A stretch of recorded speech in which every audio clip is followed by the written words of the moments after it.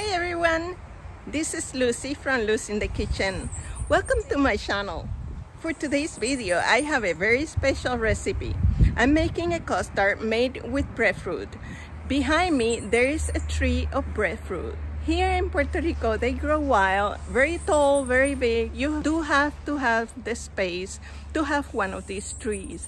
But if you are fortunate, it is said that you will never get hungry and so is your family.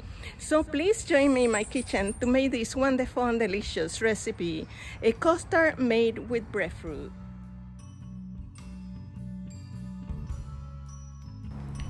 I begin by preheating the oven at 350 degrees Fahrenheit. Then I peel this beautiful breadfruit, which my neighbor Migdalia left in my balcony last night. It is so nice to have a good relationship with the neighbors. For me, they are the closest family we have. From the entire breadfruit, I will only use for this recipe about half of it.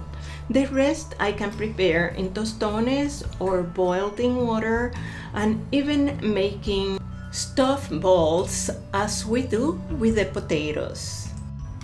Right now I'm making sure I remove the center of the breadfruit which looks like a sponge and I'm cutting it in small chunks so it's faster for it to cook. I rinse it once and then fill up the pot with water to cover the breadfruit and cook it for about 15 to 20 minutes until it's really tender. Then drain it and mash it as you do with potatoes. And then let it cool. In a very small pot, I will be making the caramel for the custard with 2 cups of granulated sugar and 1 quarter of a teaspoon of vanilla extract. I place the pot on the stove at medium-low temperature. When making a caramel, don't leave the pot unattended. Stir frequently so it can brown evenly. At midpoint, you will notice that the sugar will become solid and hard. Then it will start melting as it gets brown. When it melts completely and turns brown and bubbly, it is time to retire from the stove. You can use an 8 or 9 inch baking mold, but I will be using 4 separate molds as I want to give one to my neighbor and another to my daughter. Each mold holds about 2 cups of mixture. Also, I will be using a big square baking pan under the small ones because this recipe requires a Mary bath. Very carefully, I covered the bottom of each mold with caramel while it was still boiling and spread to the edges. If there is too much caramel in the bottom of the pan, just empty the excess back into the pot.